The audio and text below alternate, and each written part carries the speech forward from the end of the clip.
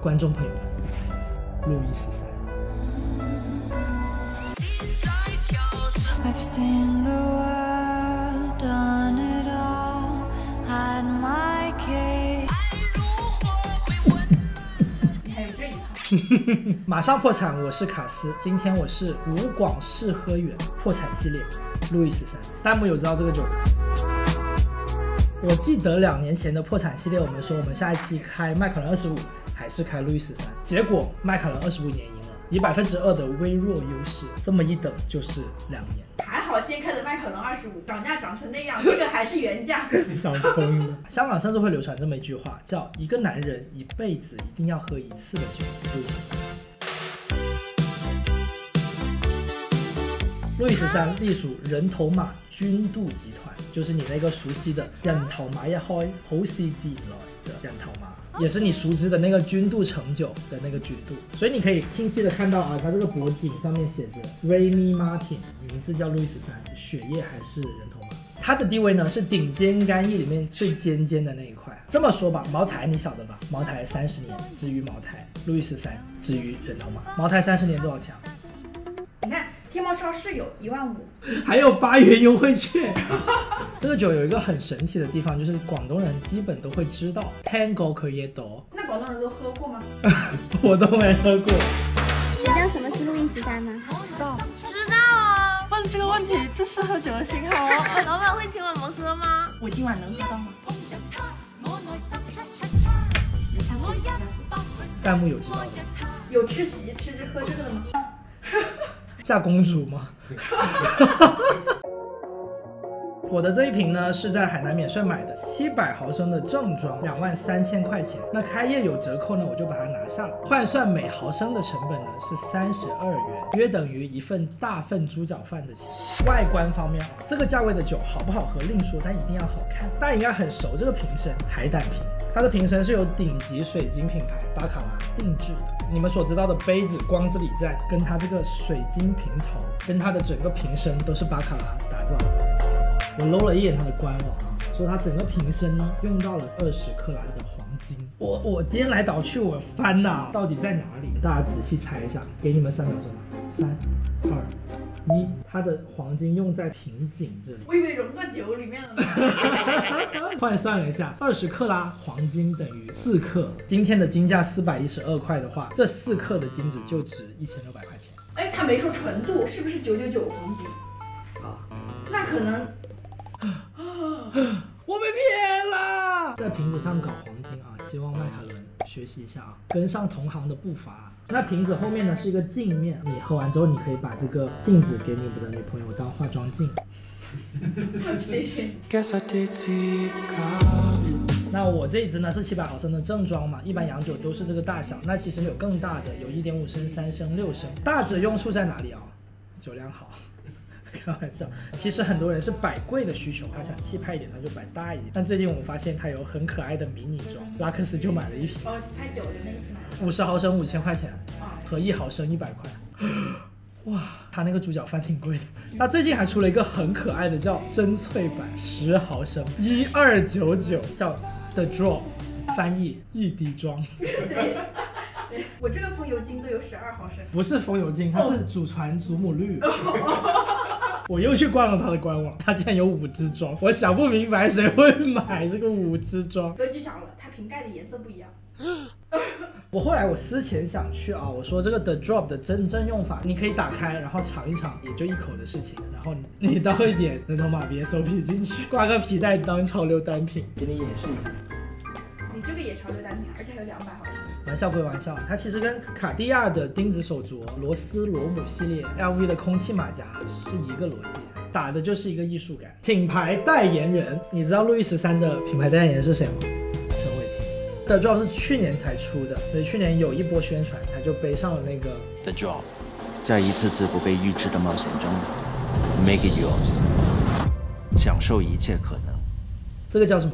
男人的医美，路易十三 The The Drop，其实我觉得还算蛮好看，景别就觉得哇好可爱，好可爱啊！那你倒是买呀！你买条皮带，我拿这个东西装上，皮带还要买的，一千块钱啊。一千块钱，我们刚才讲的这个是经典的系列，其实呢，路易十三往上还有很多高端的，我们叫典藏系列。整体的瓶身有黑的，有红的，有酒升装的，联名的。小卡暂时还买不起啊，各位未来的路易十三荣耀拥有者，先瞅一瞅，看看喜欢哪一个，弹幕抠出来，心想事成。晋级晋级，我们都知道嘛，其实干邑是分级的嘛，对不对？VS 两年，VSOP 四年，XO 十年，XXO 十四年。那路易十三呢？五十年还是最低？最高是多少呢？一百年，一个世纪。这个比迈凯伦划算多了。今天就是迈凯伦挨打专辑。网上我查到了很多说法啊，一般说五十年，然后我问 Chat GPT 呢，他告诉我是九年，我不知道他的消息源哪里来的。其实我的猜测啊，路易十三它的批次之间最低年份可能会不一样，所以它就不会标，可能用到四十多年、五十多年都有可能。但是呢，五十到一百年是大家的共识。有一个很有趣的点，我又在他们官网看，说他们的酿酒师有百年远见。这个词好掷地有声啊！有多少人下周的事情都决定不好？人头马的酿酒师在预判一百年后的人想喝什么样的酒。这里面有个很美丽的神话，就是说把这个酒放进橡木桶的这个酿酒师，等不到这个酒的装瓶，哭唧唧。大家可以尝到一百年前的酿酒师酿的酒。前人栽树，后人喝酒。干杯，铁子们！拿起手边的酒。那里面用到了一千两百种生命之水啊，就我爷爷看了都流口水那种。一个热知识啊，我们不是这个酒卖两万三吗？老的路易十三没有新的那么值钱，有人知道为什么吗？我也不知道。九十年代的路易十三现在就值个万把块钱，那当时买多少钱？也可能差不多这个价钱。九十年代的茅台一百多一瓶哎，现在一万多一瓶。你知道我私信最多的问题是什么吗？鉴定酒。所以接下来我们会在我们的破产系列加入防伪这个环节。我看到评论里面有人说，你爸收到的这个路易十五多少钱？最重要的是有人回复说应该也值不少钱。其实呢，这个座是可以打开的。它下面有个皮沙发哎，查一下供应商是谁。芝华士。它下面有一个脖。顶级沙发品牌芝华士，给你头等舱的。下面有一本书的，路易十三。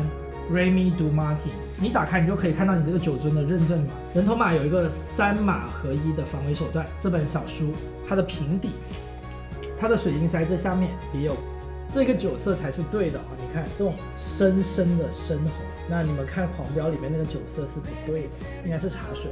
然后呢，它的瓶头啊会有一个 NFC，你可以用你的手机去靠近这个 NFC 去得到相关的信息。整体的质感真的相当好。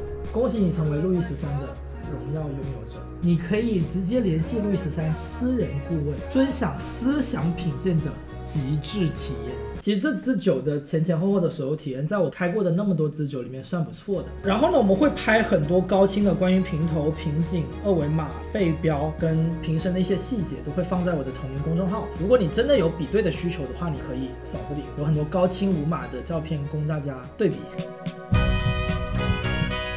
路易十三，两个硬币，开启。终于啊，从小听到大，机会只有一次啊，所有机会准备啊！拉开绳子就是喝酒的我开起来都那么有仪式感，一线天。你看这里，你看这里，哇哦，像吃豆人呢。五十块拍卖有人要吗？准备啊，抓稳啊！祝大家二零二三开开心心。我想偷偷望呀望一望他，他撒了一滴出来，好香啊！十成一滴香。只能偷偷看呀看一看他，就像真要浏览一幅啊，这么大一杯，这不比 The Drop 大？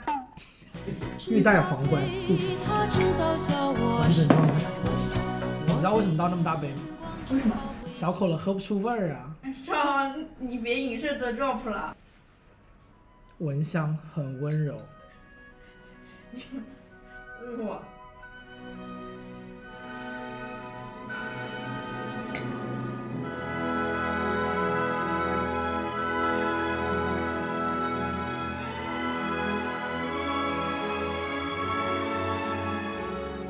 好好喝哦。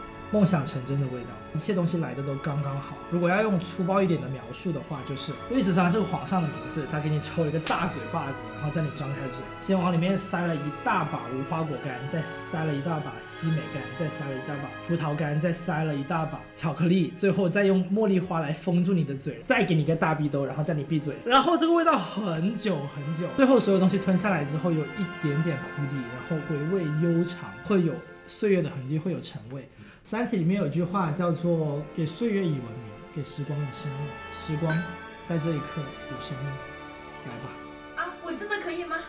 嗯，你鼻孔放大了，你鼻孔放大了。刚刚被你描述完，我以为它会很柔顺，其实不是，有点 strong 的感觉的，比想象的好喝。我来讲一个我的想法吧。我们要的肯定不是小甜水，是吗？因为我们喝的是酒，酒要有酒味，所以它要有酒精度，酒精度是骨架。在这个骨架之内，你要去填风味。当风味足够的时候，酒精度是不会辣的。我有一个微微的结论啊，烈酒里面的大酒一定有适口性。麦卡伦二十五年，它为什么做到四十几度这个度数？它不做桶强。茅台十五年，茅台三十年，为什么那么顺？就是要谁喝了都说好，它不能有门槛。我干了，你随意啊。提问，什么情况下你们会开一瓶百年老酒？有钱的时候，有朋友请客的时候，老板开的时候，你们有没有听过一句话叫做“成年男人的消费都源自于小时候的遗憾我现在买乐高就是这种感觉。哦，”。当男孩长大成男人的时候，他就特别青睐路易十三。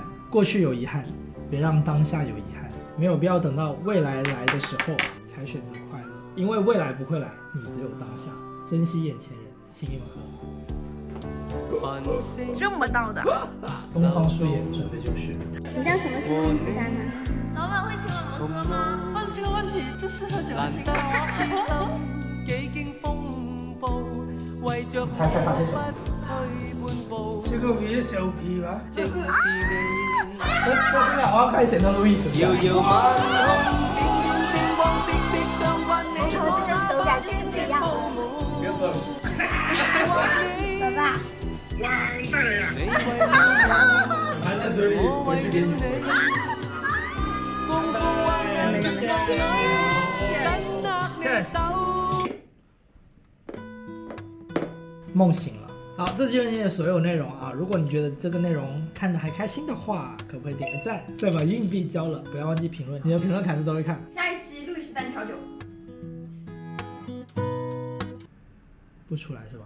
它一百年之前的了，它 NFC 过期了，结果你还是喝回了青岛。这是生活的调剂品，这才是必需品。